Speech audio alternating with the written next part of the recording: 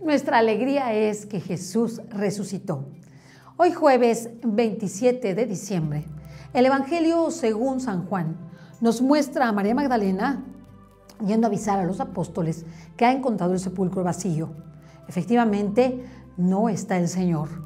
Y por ello, Pedro y Juan corren efectivamente a comprobar esto que María Magdalena les narra. Es interesante ver cómo San Juan, evangelista, se detiene para que sea Pedro, quien tiene la primacía y la cabeza de la iglesia, quien entre al sepulcro. Ven perfectamente doblados los lienzos y comprenden que Jesús ha resucitado. Qué alegría tan grande es que Jesús haya nacido para salvarnos. Pero aún mayor alegría es que haya resucitado. El último de los enemigos, enemigos del hombre, fue puesto bajo los pies de Jesús, la muerte.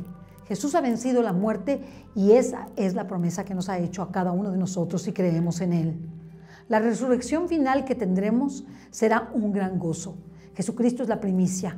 Ojalá nosotros seamos, como dice San Pablo, los, que, los de Cristo, que primero como primicia resucita y que resucitarán en primer lugar.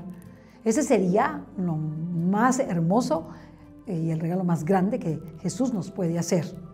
Desde luego, todos, todos resucitaremos al final según la promesa del Salvador.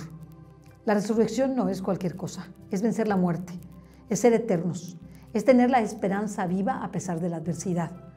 Estemos alegres porque el Evangelio de nuestro Señor Jesucristo es una gran buena nueva, la buena nueva de que nunca moriremos y seremos eternamente felices con Cristo.